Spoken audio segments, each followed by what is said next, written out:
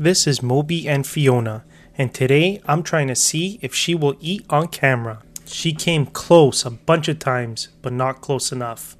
But then this happened.